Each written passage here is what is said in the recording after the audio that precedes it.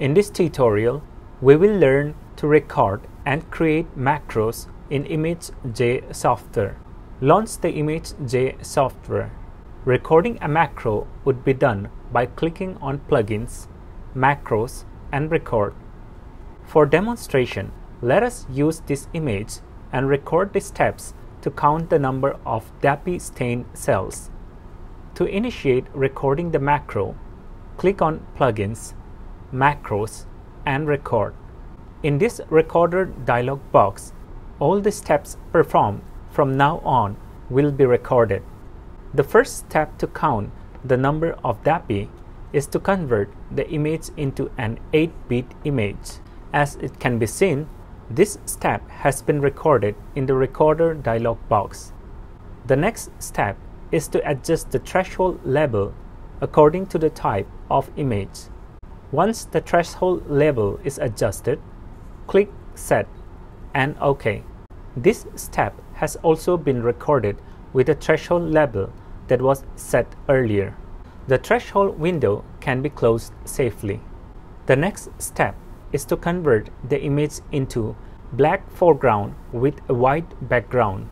In addition, convert the image into mask. For counting the individual cells, the watershed option has to be applied. Now, the clumped cells has been converted into individual cells. To perform the final count, click on Analyze and Analyze Particles. Set the size in pixel square according to the type of image. The circularity can be kept in its default state.